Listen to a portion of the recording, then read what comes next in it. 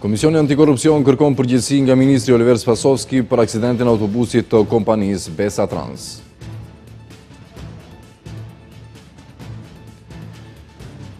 Kryeministri bën thirrje për mbështetjen e rrugës europiane, thotë se ka shanse reale që Aleanca për Shqiptarët të bëhet pjesë e qeverisë. Zyrtarët qeveritarë thonë se së shpejti do të nisë debati publik rreth ndryshimeve kushtetuese.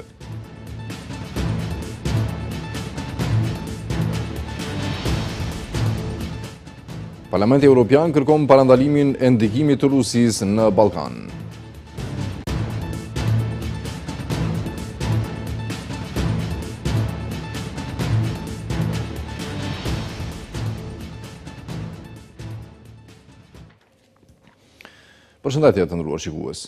Ministrit të Brendshëm po i kërkohet të sqarojë përse e ka mbajtur në sirtar një dokument me të cilin do të duhej të mbyllej firma Via Komerc, kompani e cila ka kryer kontroll teknik të autobusit të kompanisë Besa Trans, i cili pësoi aksident në Bullgari. Komisioni për Parandalimin e Korrupsionit ka konstatuar se ministri nuk ka vepruar në mënyrë të rregullt, për shkak se pas raportit të inspektoratit që ka bërë kontrollin, ai nuk ka dhënë urdhër që në afat të paraparë të eliminohen parregullsitë. Komisioni ka vendosur që të gjitha provat që disponojnë t'i dorëzojnë në Prokurorinë Publike, e cila është duke hetuar çështjen. Komisioni për Parandalimin e Korrupsionit kërkon përgjegjësi nga ministri i Brendshëm Oliver Spasovski për rastin e Besa Trans, në tragjedinë në Bullgari ku humbën jetën dyzet e pesë persona. Antikorrupsioni ka vërtetuar se përgjatë tre muajve para fatkeqësisë, ministri e ka fshehur në sirtar dokumentin kyç, në bazë të cilit do të duhej të mbyllej firma Via Komerc, kompani e cila ka kryer kontroll teknik të autobusit. Antikorrupsioni ka vendosur që për faktin se Prokuroria Publike tashmë ka hapur çështje dhe për këtë rast po zhvillohet procesi gjyqësor, Të gjitha provat që disponojnë do t'i dorëzojnë në plotësim të provave në Prokurori dhe do t'i dorëzojnë Qeverisë iniciativë për të përcaktuar përgjegjësinë e ministrit Oliver Spasovski. Antikorrupsioni ka konstatuar se ministri nuk ka vepruar në mënyrë të rregullt për shkak se pas raportit të Inspektoratit që ka bërë kontrollin, ai nuk ka dhënë urdhër që në afat të paraparë të eliminohen parregullsitë. Por të njëjtin e ka dhënë tre muaj pas marrjes së raportit, respektivisht, tre ditë pas aksidentit në Bullgari. Në gusht të vitit dy mijë e njëzet e një, inspektorët e MPB-së kanë konstatuar një sërë mangësish gjatë kontrollit në kompaninë e Kontrollit Teknik Via Komerc, e cila kryente kontroll mbi autobusët e Besa Trans. Ndërkaq, kreu i policisë Spasovski ende nuk ka dhënë ndonjë sqarim se pse ka pritur kaq gjatë dhe nuk ka thënë se nëse ndihet përgjegjës për aksidentin. Kryeministri Dimitar Kovaçevski ka komentuar zërat për hyrjen e Aleancës për shqiptarët në qeveri duke përsëritur qëndrimin se të gjithë ata që dëshirojnë t'i bashkohen konceptit për Maqedoni Evropiane. Ndërkohë, VMRO-DPMNE-ja kritikon kreun e Aleancës për shqiptarët Arben Taravarin duke theksuar se u bë kryetar komune me votat e VMRO-DPMNE-së, ndërsa tash vrapon pas qeverisë. Zërave për hyrjen e Aleancës për Shqiptarët në Qeveri iu bashkua sot edhe kryeministri Dimitar Kovaçevski, i cili deklaroi se ASH mund të bëhet pjesë e ekzekutivit, por se kjo sipas tij varet nga dialogu politik.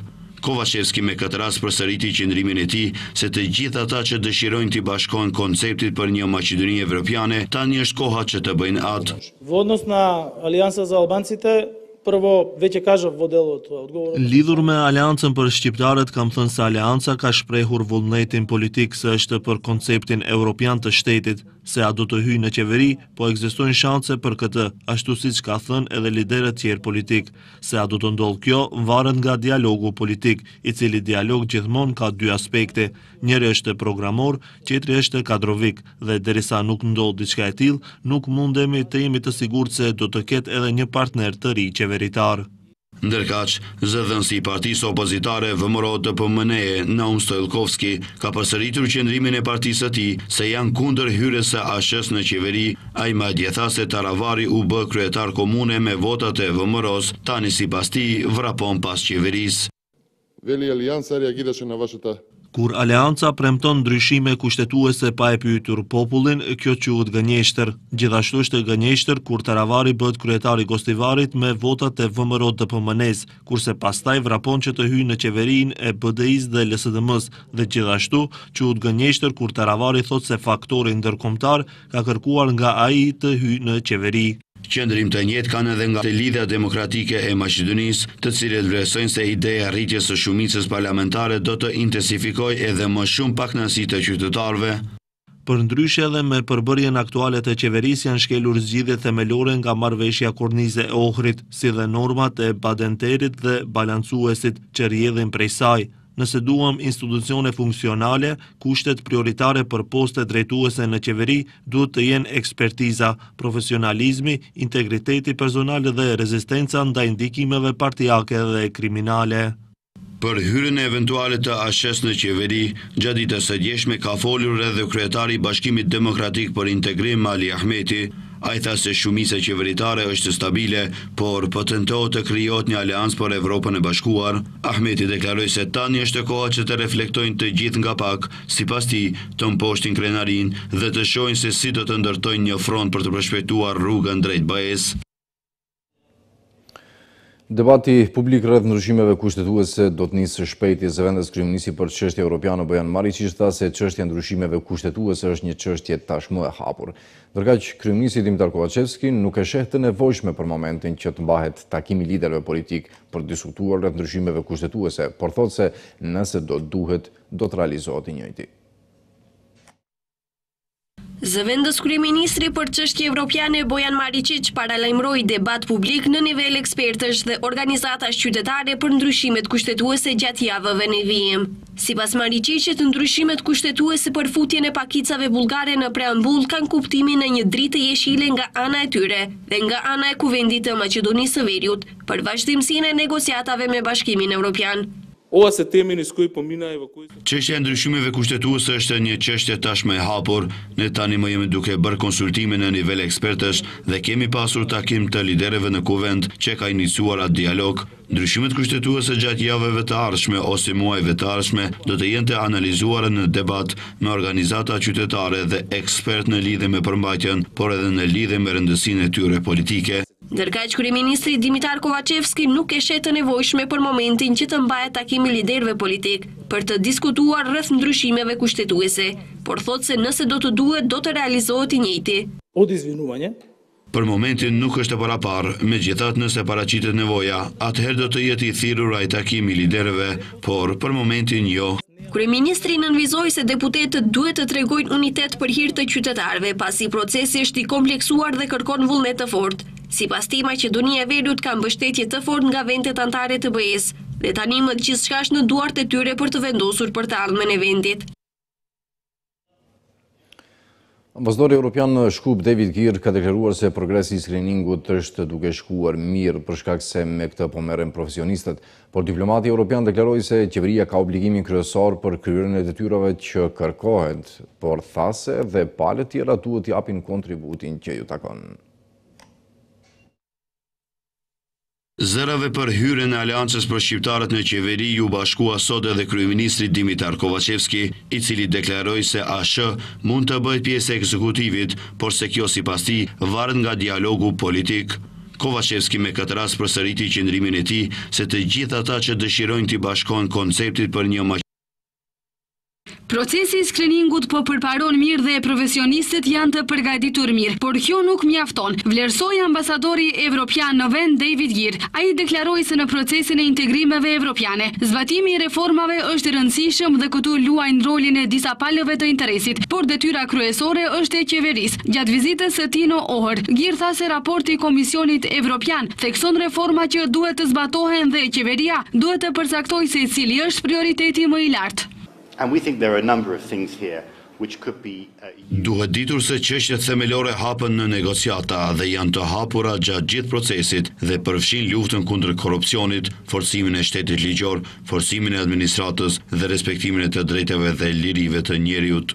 Duke iu përgjigjur pyetjeve të gazetarëve, ai nuk ka komentuar se çfarë do të ndodhë nëse Qeveria nuk siguron një shumicë prej dy të tretash, pasi siç tha ai, nuk mund të ndërhyjë në punët e brendshme të vendit. Megjithatë, ai kujtoi se ndryshimet kushtetuese rrjedhin nga marrëveshja për të cilën shteti është angazhuar me Bullgarinë. There are plenty of people in this city, plenty. Shteti ka një histori të mirë të marrëdhënieve ndëretnike dhe shpresoj të marrë një vendim që do t'i forcojë ato. Kjo nuk e cenon identitetin. Identiteti nuk humbet rrugës për në BE. Njëkohësisht, ambasadori evropian përkujtoi se nëse nuk bëhen ndryshime kushtetuese, procesi do të ndalet, por theksoi se nuk do të komentojë se çfarë do të ndodhë. Njëkohësisht, ai tha se është e rëndësishme që shteti të fokusohet në reforma. Ministria e Punëve të Jashtme të Bullgarisë vlerëson se deklaratat publike që ofendojnë ose provokojnë Maqedoninë e Veriut janë absolutisht të papranueshme dhe kundërproduktive dhe nuk përfaqësojnë qëndrimin zyrtar të shtetit bullgar dhe nuk mund të interpretohen si të tilla. Në njoftimin e publikuar në faqen e Ministrisë së Punëve të Jashtme të Bullgarisë, ministria konfirmon qëndrimin e saj kategorik se politikanët dhe figurat publike nga Bullgaria dhe Maqedonia e Veriut kanë një rol të përgjegjshëm në ndërtimin e besimit dhe zhvillimin e marrëdhënieve të mira fqinjësore midis dy vendeve, si dhe në uljen e tensioneve në publik. Duke marrë parasysh historinë e përbashkët që lidh të dy vendet, përkujtimi i ngjarjeve dhe personaliteteve të përbashkëta historike, siç është përvjetori i vdekjes së Mara Bunevës, duhet të çojë në forcimin e besimit dhe fqinjësisë së mirë, thuhet në deklaratën e MPJ-së bullgare. Sipas tyre, jo më pak të rrezikshme për marrëdhëniet dypalëshe janë edhe apelet e partive margjinale në Maqedoninë e Veriut kundër politikanëve dhe figurave publike në Bullgari që mbrojnë të drejtat e bullgarëve në Maqedoninë e Veriut dhe projektet e afrimit të njerëzve mes dy vendeve.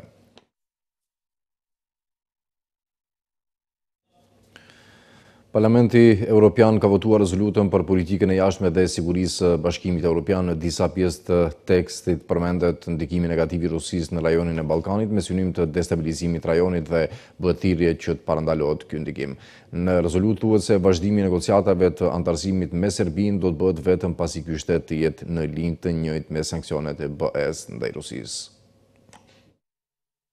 Në seancën plenare të Parlamentit Evropian në Strasburg është votuar rezoluta për politikën e jashtme dhe të sigurisë së Bashkimit Evropian. Kjo rezolutë fokus kryesor e ka forcimin e rolit të BE-së në botë dhe përgjigjen që duhet dhënë në rrethanat e reja ndërkombëtare pas agresionit të Rusisë ndaj Ukrainës. Në tekstin e rezolutës që ishte miratuar së pari në Komisionin e Politikës së Jashtme, u propozua që në disa fusha në politikën e jashtme, Bashkimi Evropian të votojë me shumicë të kualifikuar. e jo me konsensus, në mënyrë që votimi të jetë më efikas. Në disa pjesë të rezolutës përmendet edhe rajoni i Ballkanit Perëndimor, prej ku kërkohet që BE-ja të përshpejtojë procesin e zgjerimit si me vendet kandidate ashtu edhe me kandidatët potencialë. Gjithashtu përmes kësaj rezolute kërkohet që sa më parë të hiqen vizat për qytetarët e Kosovës. si dhe përshëndetet nisja e negociatave të anëtarësimit me Shqipërinë dhe Maqedoninë e Veriut, si dhe dhënia e statusit të vendit kandidat për Bosnjë e Hercegovinën. Në disa pjesë të tekstit përmendet ndikimi negativ i Rusisë në rajonin e Ballkanit, me synim të destabilizimit të rajonit dhe bëhet thirrje që të parandalohet ky ndikim. Në mënyrë të veçantë në tekst i bëhet thirrje Serbisë, e cila është vend kandidat për anëtarësim në BE, që të respektojë vlerat evropiane dhe të përshtasë politikën e saj të jashtme me atë të Bashkimit Evropian. Serbia vazhdon të jetë shteti i vetëm në rajon i cili nuk i ka mbështetur sanksionet ndaj Rusisë. Po ashtu thuhet se vazhdimi i negociatave të anëtarësimit me Serbinë do të bëhet vetëm pasi ky shtet të jetë në linjë të njëjtë me sanksionet e BE-së ndaj Rusisë. Rezoluta bën thirrje edhe për masa ndaj atyre që rrezikojnë unitetin dhe integritetin territorial të Bosnjës dhe Hercegovinës dhe kërkohen sanksione ndaj liderit të Republikës Srpska në Banjalluk, Milorad Dodik. Ndonëse nuk përmendet me emër në tekstin e rezolutës nga Komisioni Evropian, kërkohet që të nisë hetime të brendshme ndaj Komisionerit për Fqinjësi dhe Zgjerim, Oliver Varhelyi, për shkak të raporteve se ai ka ndërhyrë për të anashkaluar shkeljen e vlerave demokratike dhe sundimit të ligjit në disa vende kandidate.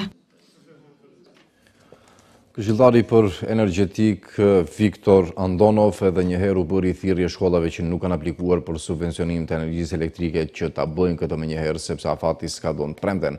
Këto shkolla do të marrin energji elektrike të subvencionuar nga një shkurti, nga një janari, megjithatë 374 shkolla nga gjithsej 474 kanë marrë energji elektrike të subvencionuar. Gjatë kësaj periudhe, të gjithë duhet të sillemi me përgjegjësi. Qeveria siguroi energji elektrike të subvencionuar për shkollat fillore dhe të mesme. Apelojmë që ata që nuk e kanë bërë këtë, të paraqesin kërkesat për energji elektrike të subvencionuar dhe shërbimet e EMV-së janë në dispozicion të tyre. Nxënësit kanë të drejtën e mësimit të pandërprerë dhe klasave të ngrohta dhe komunat kanë të drejtë të ulin kostot. Qyteti i Shkupit e dorëzoi në prokurori padinë kundër fabrikës së çimentos Titan Usje pasi ka ndotur ajrin. Nga ky institucion i bëjnë thirrje prokurorisë publike që të hetojnë thellësisht rastin dhe të veprojnë në përputhje me rrethanat. Ashtu siç paralajmëroi disa ditë më parë kryetarja e qytetit të Shkupit Danela Arsovska se do të ngrejë padi penale kundër fabrikës së çimentos Titan Usje, ashtu edhe ndodhi. Nga qyteti i Shkupit informojnë se sot kanë dorëzuar padinë e paralajmëruar penale kundër Çimentos Titan Usje, në të cilën përgjegjësi përveç juridike, kërkohet edhe nga personi përgjegjës, Boris Hrisafov, i cili si kompetent për zbatimin e detyrimit që dalin nga Leja e Integruar A, e lëshuar nga Ministria e Mjedisit Jetësor dhe Planifikimit Hapësinor, nuk u është përmbajtur detyrimeve të njëjta në lidhje me kufijtë maksimalë të lejueshëm të emitimit të gazrave të dëmshëm në ajrin e ambientit. Fabrika e çimentos Titan Usje gjatë matjeve të kryera më tre dhe katër janar ka lëshuar një përqendrim dukshëm më të lartë të grimcave PM dhjetë nga kaldaja për ngrohje që punonte me mazut në vend të gazit natyror, domethënë në vend të maksimumit të lejuar prej pesëdhjetë mikrogramë, nga oxhaku lëshoheshin njëqind e njëzet e një mikrogramë çdo orë. Qyteti i Shkupit madje i ka bërë thirrje Prokurorisë Publike që të hetojnë thellësisht pretendimet dhe të veprojnë në përputhje me rrethanat. Sipas tyre, është e papranueshme që qytetarët e kryeqytetit të jenë viktima të fitimeve të disa personave që i helmojnë qytetarët me dekada. Nga qyteti i Shkupit gjithashtu theksojnë se fabrika nuk duhet të amnistohet nga përgjegjësia për ndotjen e mjedisit, nga e cila vuajnë mijëra qytetarë nga sëmundjet e shumta. Procesi i prodhimit të fabrikës së çimentos Titan Usje është i pandërprerë dhe zhvillohet çdo orë dhe çdo ditë gjatë gjithë vitit. Qyteti i Shkupit informoi se kanë emëruar drejtor të ri në ndërmarrjen publike Ujësjellësi dhe kanalizimi si dhe në kopshtin zoologjik, ndërsa në ndërmarrjen publike higjiena komunale i është vazhduar mandati drejtoreshës deritanishme. Nga qyteti i Shkupit thonë se po shqyrtohen emrat edhe për drejtor të ri në Qendrën Kulturore Maqedonase, Drejtori i ri i Ndërmarrjes Ujësjellësi dhe Kanalizimi është emëruar Dragan Ilievski, inxhinier mekanik me më shumë se njëzet vite përvojë pune. Drejtori i mëparshëm, Marian Çomitovski, i cili nga radhët e të punësuarve u emërua në këtë pozitë, vazhdon angazhimin e tij si drejtor sektorial i kompanisë. Drejtori i ri i Kopshtit Zoologjik është Zoran Popov, i cili vjen nga radhët e të punësuarve. Popov është një ekonomist me njëzet vjet përvojë pune, Qendra Kulturore Maqedonase do të ketë drejtor të ri pas vlerësimit të CV-së për këtë pozitë. Kosana Mazneva është emëruar me mandat të ri dhe vazhdon të mbajë postin e drejtoreshës së ndërmarrjes publike Higjiena Komunale, thuhet në komunikatën e qytetit të Shkupit.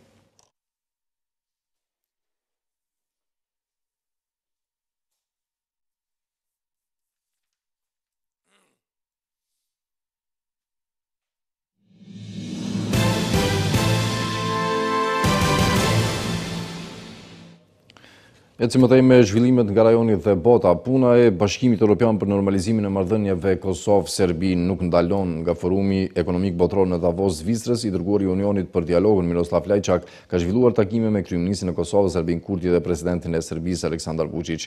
Në fokus bisedimeve kanë qenë hapat e ardhshëm për dialogun. Fillova ditën time në Davos me një diskutim të thelluar me kryeministrin Albin Kurti. Folëm për hapat e ardhshëm për normalizimin e marrëdhënieve dhe çështjet aktuale, ka shkruar Lajçak në Twitter. Më pas i dërguari i BE-së ka takuar edhe Vuçiçin, ka qenë presidenti serb ai i cili me anë të një postimi në Instagram ka konfirmuar bisedimet me zyrtarin europian. Dhe këtë vend të rëndësishëm vazhdoj diskutimet me Miroslav Lajçakun për situatën në rajon dhe dialogun ndërmjet Beogradit dhe Prishtinës, ka shkruar Vuçiç. Më njëzet janar, Lajçak do të vizitojë Beogradin dhe më pas Prishtinën në përpjekje për arritjen e një marrëveshjeje mes dy vendeve.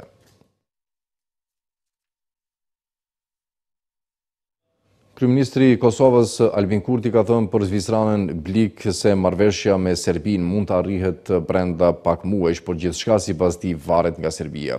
Unë jam optimist se një marrëveshje mund të arrihet brenda pak muajsh nëse ekziston vullneti për të arritur një marrëveshje dhe mbështetja e Perëndimit demokratik, pra BE-së, NATO-s, SHBA-së dhe Britanisë së Madhe. Unë kam shprehur vullnetin tim për ta bërë këtë, por për një marrëveshje duhen dy palë, ka thënë ai. Kurti ka theksuar se Serbia duhet të distancohet nga Rusia, pasi Vladimir Putin dëshiron një konflikt të ri në Kosovë.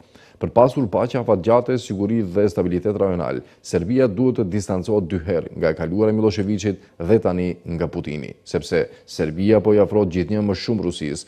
Putin dëshiron të nxisë konfliktin me Kosovën, ai është i fiksuar pas vendit tonë. Është i lumtur me mungesën e suksesit të ndërhyrjeve të Perëndimit në Irak dhe Afganistan. Atë e zemëron fakti që në Kosovë pati sukses ndërhyrja e ndërkombëtarëve, tha Kurti.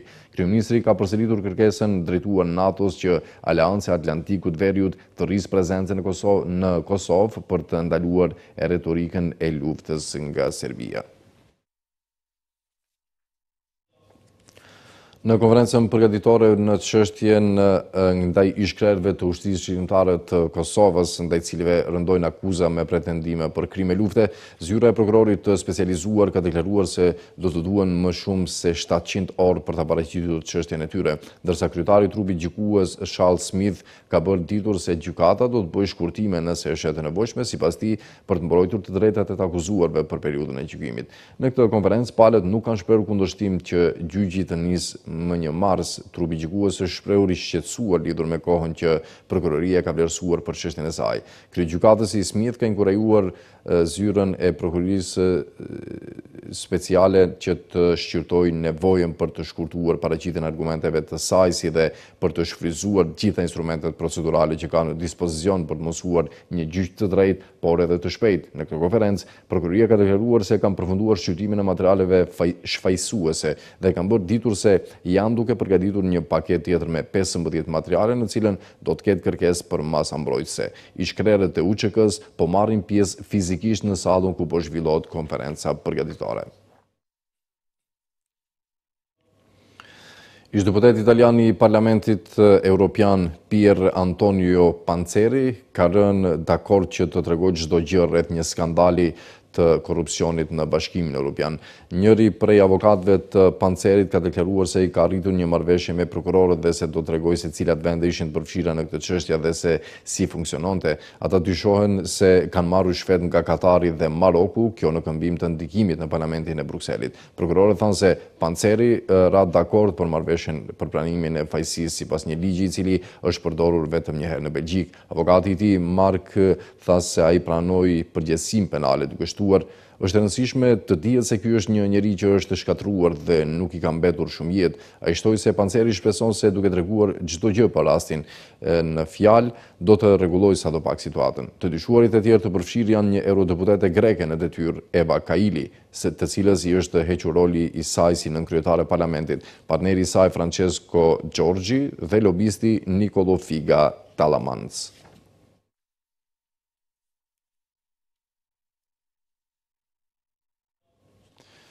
Të paktën shtatëmbëdhjetë persona kanë humbur jetën përfshirë ministrin e Brendshëm të Ukrainës dhe dy të mitur pas përplasjes së një helikopteri pranë një kopshti fëmijësh në periferi të Kievit të mërkurën. Sipas Ihor Klimenko, shefi i policisë kombëtare të Ukrainës, nëntë nga të vrarët ishin në bordin e helikopterit. Ministri Denis Monastirski ishte një nga tetë personat në helikopter. Zëvendësi i tij Jevgeni Jenin dhe sekretari i shtetit gjithashtu humbën jetën. Bëhet e ditur se janë edhe njëzet e dy persona të plagosur, mes tyre dhjetë fëmijë. Guvernatori rajonal i Kievit, Oleksiy Kuleba, tha se Në momentin e tragjedisë kanë qenë pranishëm fëmijë dhe punonjës të kopshtit. Kuleba shtoi se ka njerëz të lënduar, por nuk dha detaje të tjera. Ekipet mjekësore, policia dhe zjarrfikësit janë në vendin e ngjarjes, shtoi ai. Po e mbyllim këtu këtë edicion të lajmeve të nderuar shikues për të lënë sërish takim në ora 18.55 minuta me qendrore. Mirëmbetshi deri atëherë.